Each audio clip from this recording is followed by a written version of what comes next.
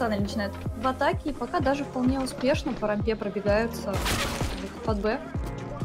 Ну, два минуса уже влетает со стороны команды Националь. И тут у нас, как видите, знакомые лица, незнакомое, правда, название. Тут уже погибает два игрока атаки. Тут развал вообще от команды Smash. 4 минуса влетает от Smash. И остается последний Старк, который тоже долго жить не будет. Победа команды Smash в первом раунде, хотя преимущество было налицо. Но кто у нас тут влетел такой интересный? Подождите, кто у нас играет с ником Full?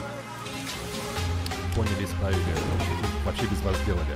Но не забывайте приходите на Twitch, подписывайтесь на канал, потому что таких матчей стримчиков будет побольше.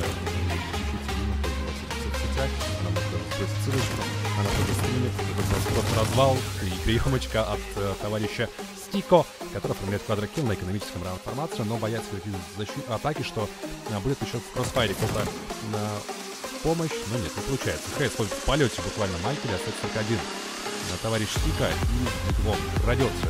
Что на аватарке Потому что это аватарка стоит у двух товарищей. Опа, 4 хп против Может быть, это какой-то локальный мем. Кто его знает. Но, да. У нас тут мем в том, что сейчас опять выходит плащ, при этом, опять же, национальный тоже должен делать что это раунд, но Майк. Майк не зарешал, Майк 2 килла сделал. Ну, в принципе, здесь у Стика-то все шансы выиграть, если вдруг Каликс его случайно не. А он и не зачекал, так что 8-6, в принципе, смеши первую половину 100%. А вот вопрос, на сколько раундах это будет на 3, собственно, один информация. До последнего. Но смеши могут еще и уйти так и через арку под Б, если ты очень захотел. Как кажется, нет. Как кажется, ничего не меняется. А Хэс вообще чекнут? Нет? По-моему, нет. Да, А зря. действительно, зачем? И Хэс ныкается дальше в песках. Информация есть. Хэдшот влетает в товарища Стика. Получает он а, по голове, но это была МК. И сейчас Бьяли, 1 в 1. Будет идти с короткого против, э, да, очень битого Стика. Тут либо квадрокилл, либо снова тащит. У него есть дефенс киты, есть одна флешка.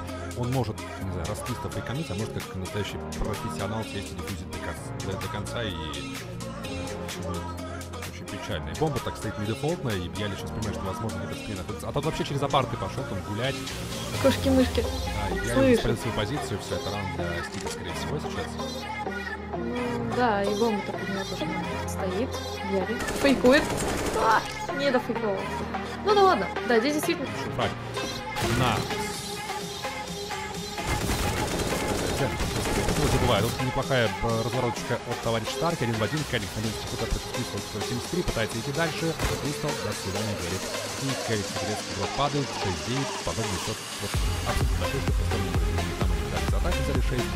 Здесь записано 106. Далее это все здесь хорошо вообще. То, что будет камбэк, я почти не сомневаюсь. Выиграю. Закатах, значит, получается не поставить. Вообще по игре, а вот здесь просто 4-3. Феликс дает ответный минус э, на товарища Зена. Тут уже приходит э, Стика и. Несколько команды Националь, Мерц что Феликс за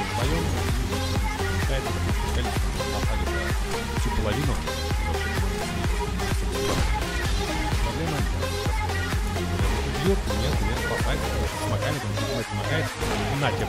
Бомба не стоит, можно пытаться идти, при том, что бомба-то лежит еще возле бокса. На тебе просто шашлык. Где это закончилось, а шашлыки остались. Well как бы. 13-0. И это будет за сегодня вторая карта 16 Очень.